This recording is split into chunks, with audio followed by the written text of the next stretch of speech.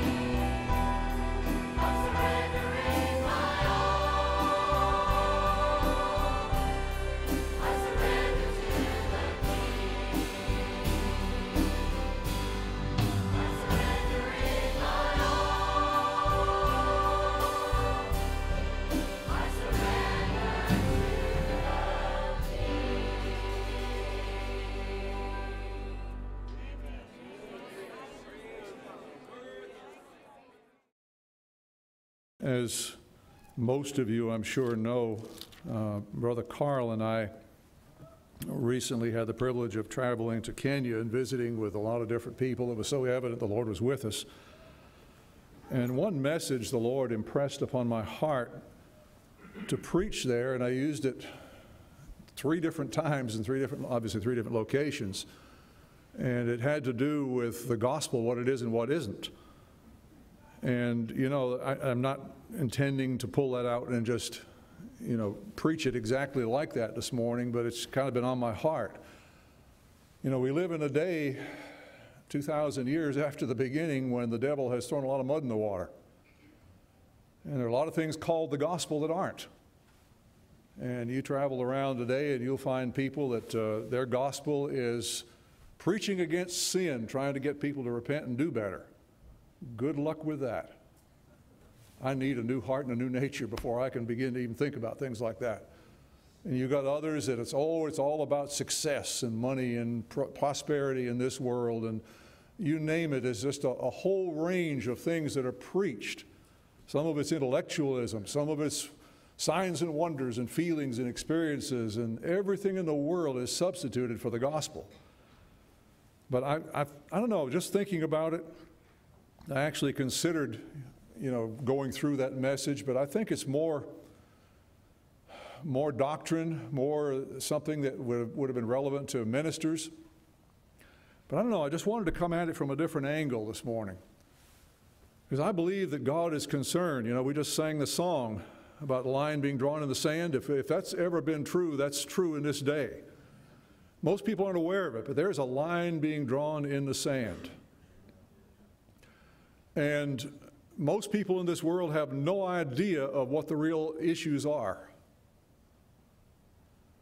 Because there are two kingdoms that are very real, that we don't see them. The world is not simply what we see with our senses and all of that.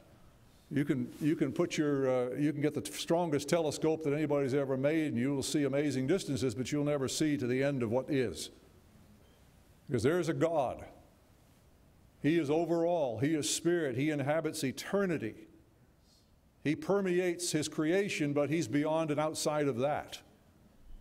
All power, all knowing, with a character that is, that is the central word that characterizes him is love. And all that he does is with a purpose, in spite of all the ugliness we see in this world. There's a reason behind all of it. But, and of course, we know he has a kingdom. He has many servants. They're, they're, we call them angels. But they are ministering spirits. They're sent forth, they are told to minister to those who will be heirs of salvation. There is an innumerable company of angels that serve him, that give him glory, that fight battles, that all, kinds of things. But there's another kingdom, and that's the kingdom that rules over this planet because our first parents turned the job, turned their place, their, their, the privileged place that God had given them, they turned it over to the devil without perhaps realizing what they were doing. They decided they were going to go it alone. And what they didn't realize is by going independently of God, they were literally handing the keys of this earthly kingdom over to the devil. And he is very real. And he is devoted to use, abuse, and destroy the human race without their being aware of what's happening until it's too late. And the, the lines could not be more stark, could not be more clear, because every human being is on one side of this line drawn in the sand or they're on another. And uh, as I say, Satan has obscured these issues until today people can wear the name Christian and, it, it, and most of the time it doesn't mean anything. So the way I, I, felt like I wanted to come at this, I felt like the Lord quickened this, and we'll, we'll, just, we'll just see what he does with it, is to ask a simple question Are you a Christian? See, the meaning of that term Christian has changed pretty dramatically since the beginning. Back in the beginning, we, we read in the, as the gospel began to go out and reach the Gentile world, I believe it was in Antioch, which was predominantly a, uh, the, the word began to reach volumes of Gentiles who were considered by the Jews to be outside of God's, you know, God's interest and God's grace in spite of the, what the prophet said. But the, the gospel went there, but it says the, the Christian, the believers first began to be called Christians in Antioch. And so there was a, there was a name that began to be, be used to describe the followers of Jesus, and it meant something. It, it had a very distinct meaning. There was no question. If you were a Christian, man, they knew what that meant. Today, if you ask people in the world how many, you know, how many Christians are there, it would be north of a billion who would be adherents of some form of religion that, that uses the name of Jesus and claims to be followers. There are sects and large churches and every, everything in between that all have, you know, have some claim to the name of Christ. And if you're part of that, then you're a Christian. And of course, if you grow up in a country or in a family that is uh, you know, attached to something called a Christian church, let's say, or a Christian organization, and you're born into that, you're kind of automatically a Christian. It's become a cultural thing, it's become a traditional thing, it's become something that really has lost its meaning. Satan, as I say, has thrown a lot of mud in the water, and he's thrown ideas and doctrines and everything in the world to split Christians into all of these groups and then to turn what they had into something that wasn't real. And so uh, most people who have that name Christian have hand me down religion of some form. It's, it's, it's, something that they observe on the outside, it's beliefs to which they give some form of assent. I mean, if you, you ask, if you go out and, and do a survey, you will find that a majority of America is Christian. And you'll also find a majority that stand for all kinds of things that are very, very unchristian. This is, I mean, it just doesn't mean anything anymore. And I just, I don't know, I have this burden. I feel like it's the Lord's burden. That we don't, we don't fool ourselves, that we have a clear picture of what it means to be a Christian. Because this is not an issue where you can just kind of float through and then, and then fix it later.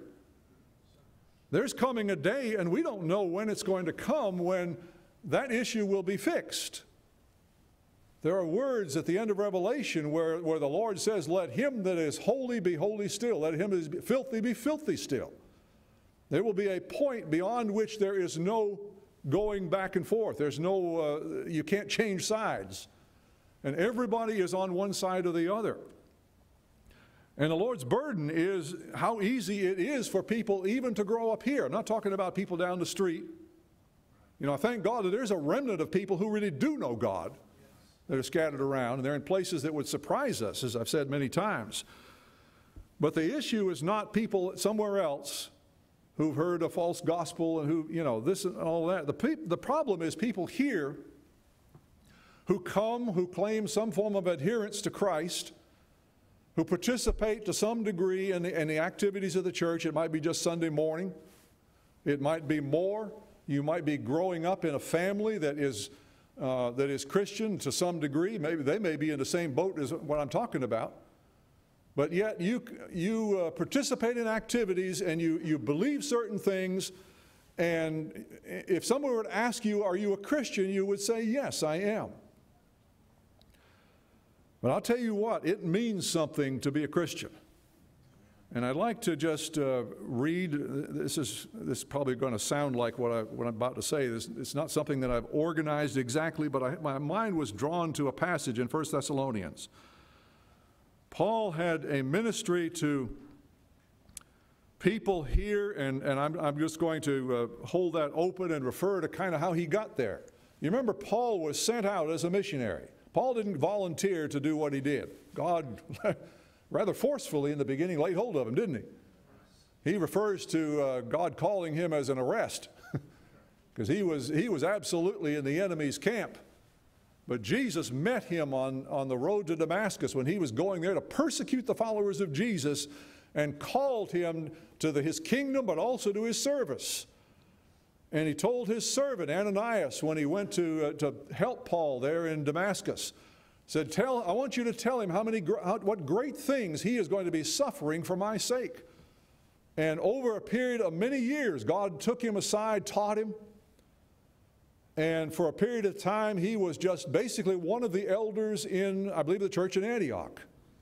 And they would just come together like we come, and, and he and several others would minister, and they would they would share, and God would just strengthen the believers. And there came a day when they were fasting and waiting on the Lord, and the Lord said, somehow supernaturally, separate Paul and Barnabas for the call, and so forth. And so they began to go out and they began to minister, and I believe it's in what is modern Turkey. I didn't uh, look at the, all the geography up, but anyway, Asia Minor is what it was called at the time. It began to go, and everywhere he went, it became evident that he was in enemy territory Because it didn't take long before the devil said, Whoa, we got to stop this guy. And they would raise up persecution, and he would flee to the next city and begin to get disciples together there. And then persecution would rise up, and he'd go to the next place. And, and uh, you know, when they, when they finished that particular journey, they reversed course, didn't they? Went back, right back to the very places where they had been with all that opposition and they began to uh, encourage the believers and they, they put them in God's hands. I'll tell you, there was a supernatural work going on. You think of what we think about as it takes to establish a church? They'd be there a short time, gather disciples, and leave them and put them in God's hands and go on and come back and it'd still be, still be there. I mean, we need that. I don't care what we do in terms of organization and natural appeal to people. If we do not have the supernatural presence of God changing hearts, we have nothing. I don't care what it looks like, what you call it, it's not what they had. And I'm not satisfied with anything less. Are you?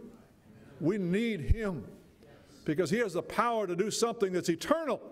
Whatever God does, it lasts forever, doesn't it? That's what I want. He doesn't, you know, it's not that he needs us. He certainly doesn't need our abilities. We just need to be yielded to him and say, Lord, you do, you do your thing. I just want to be part of it, but it's your thing. So, anyway, Paul later went out. I think this was, I didn't look at all the history, but uh, Paul went out later with Silas, and they reached a certain point where he wanted to go a certain place. You remember he wanted to go to Bithynia? Tried to arrange the, you know, all of that, and the Lord came to him in the middle of the night, and what happened? A man from Macedonia he saw in a vision standing there saying, Come over to Macedonia and help us. And so they did. And the first place I believe that they actually ministered in Macedonia was a place called Philippi. Remember that? We talked about that recently. And he, they began to minister and to talk to uh, some women, I believe, origin, uh, uh eventually there. And there was a lady whose name was Lydia. We have a, a Lydia here, named after her, I presume. But anyway, she was named Lydia, and the scripture specifically says the Lord opened her heart. Do you know what takes that? It's got to be supernatural. God opened her heart. Why is that necessary? Because we don't have the power to understand. People don't realize the condition they're in. We see what we see and we think it's real. You know, about, it was about a year ago. I was, I was working on a transcript of a service that we had about a year ago. And it's going on, it's on the broadcast right now. And I, I used the illustration of, from Star Trek of the holodeck. I mean, you remember that.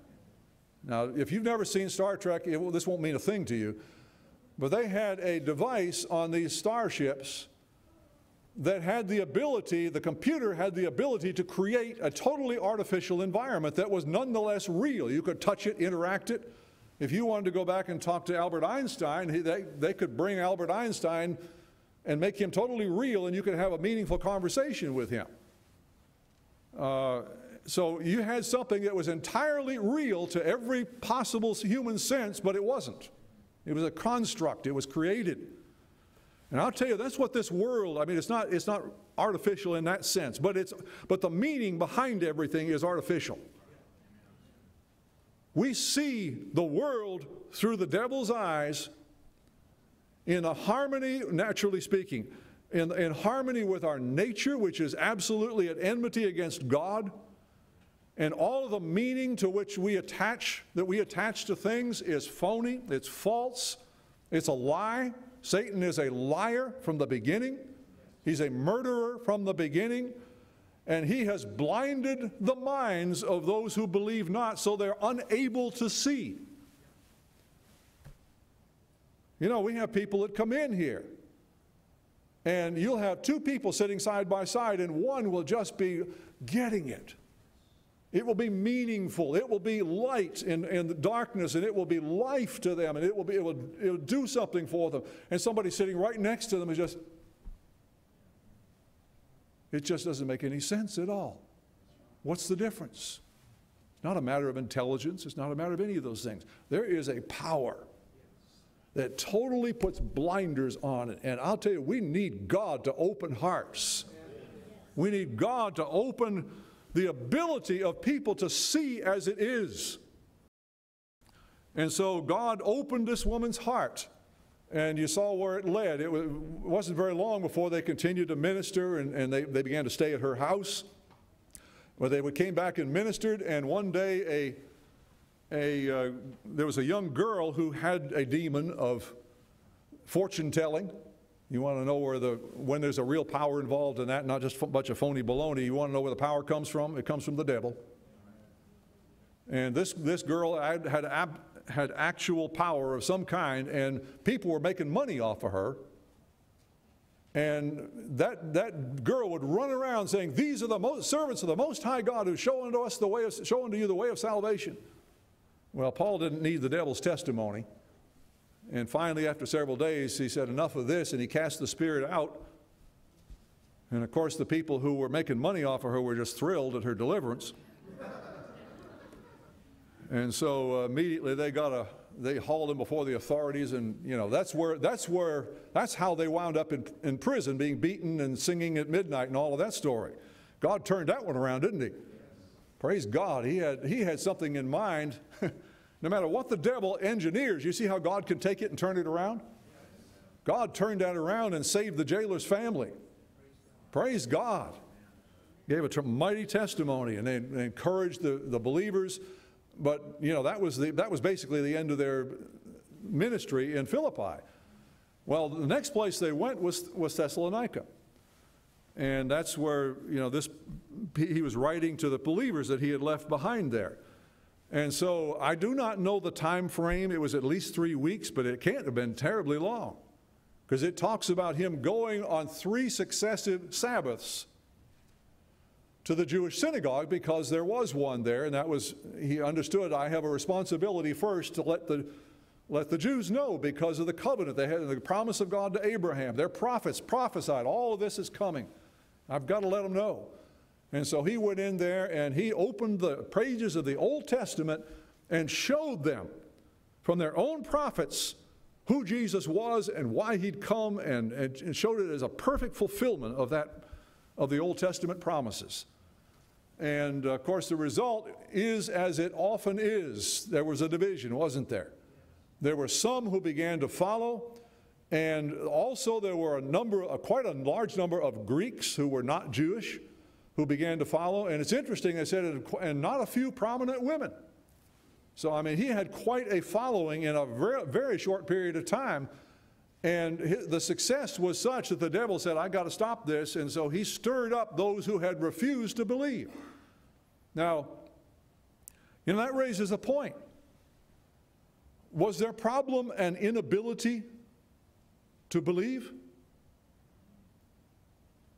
These that didn't believe. I see some head shaking. if you're going like this, you're right. No. I'll tell you, when people are apprised of the truth, and it's not just simply a man trying to expound it, there's, there's God's present. God's working with hearts. If you got that going on, and you got people that, that feel the impact of God's voice, and they don't believe, that's a choice. That is a rebellious choice to harden the heart and say, No, I will not receive. You look at the beginning passages of Romans, and you will see where the wrath of God comes. You know, Kenny and I were talking about that briefly before the service. And I'll tell you what, the wrath of God is against men who hold the truth. They've got some knowledge of the truth, but they absolutely refuse to bow to it. They will not have it. They're going to harden their hearts and say, No, I will go forward serving my own desires. I'm going to do what I'm going to do. Nobody's going to tell me any different.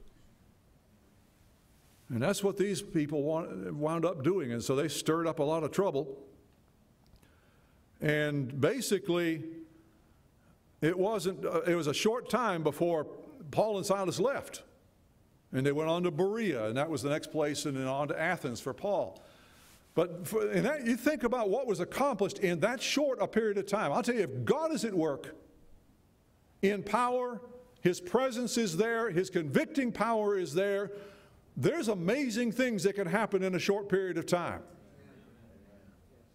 And that's what happened. And you think about that, that history, I, I know it was at least three weeks, but it, I don't know how, what the actual time frame is, so don't quote me on how long it was. The Bible doesn't say. But this was not a long campaign where he was there. And yet, listen to the words here.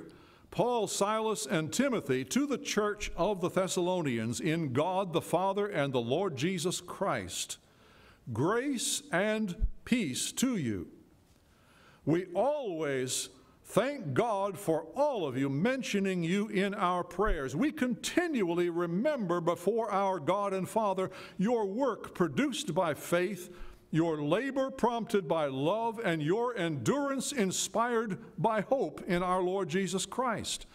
For we know, brothers, loved by God, that He has chosen you because our gospel came to you not simply with words, but also with power, with the Holy Spirit, and with deep conviction.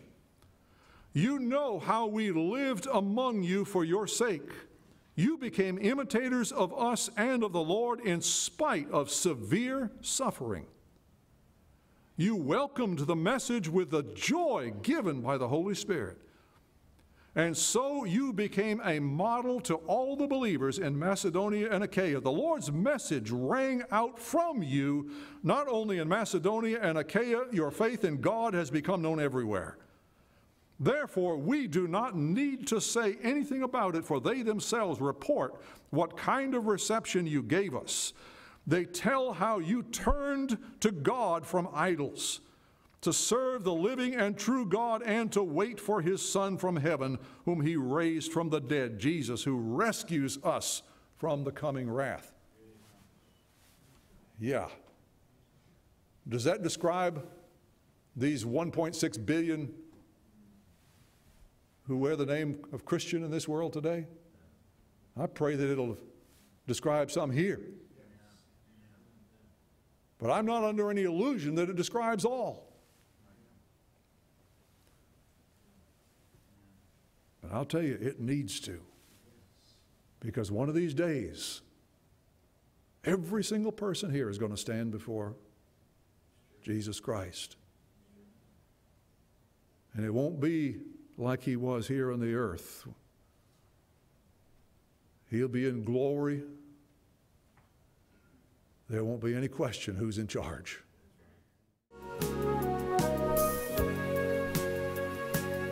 This has been the Midnight Cry broadcast.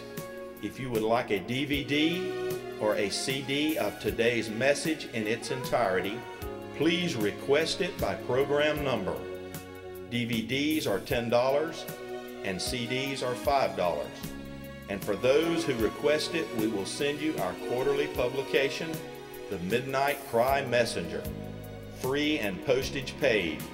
Send your request to Midnight Cry Ministries, Post Office Box 685, Southern Pines, North Carolina 28388. We invite you to join us again next week at this same time, and may God richly bless you until then.